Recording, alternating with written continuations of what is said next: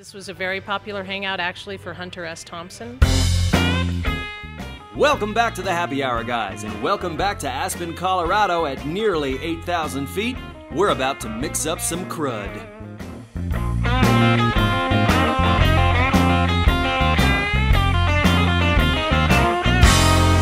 Back to the Happy Hour, guys. I'm standing underneath the sign for the J Bar, which is part of the Hotel Jerome. There's been a bar on this site since 1889. Now, we always ask this when we talk about places that have been around since before the dreaded 18th Amendment.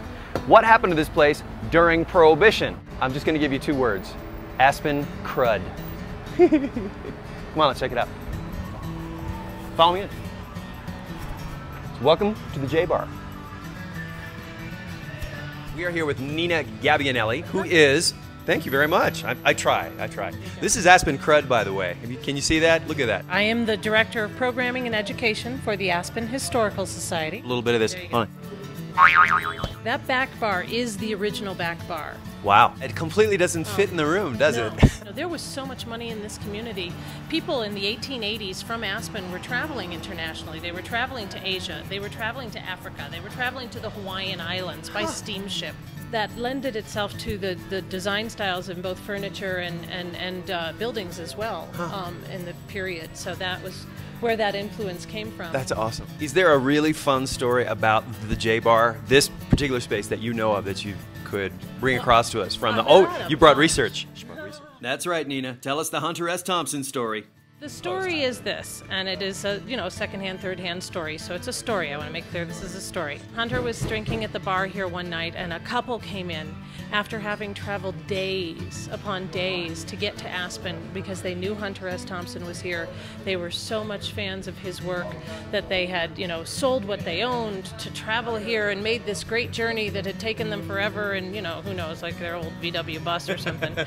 and um, they came up to him at the bar um, and tapped on his shoulder and he turns around and takes a look at them and the husband tells him you know how much they're fans of his work and how much they like him and were so enamored with him and, and just wanted the opportunity to have a little conversation if he had some time. And hunter's response is this. There was a vial of in the bar. Um, and he actually the wife uh, evidently was uh, well endowed. Uh-huh.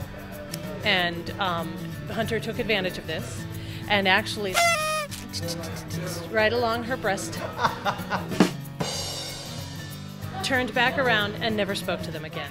A lesson we should all take to heart let drinking Hunter S. Thompson's keep drinking. So that leaves us with one tasty loose end to tie up. I I need to just take a little quick break.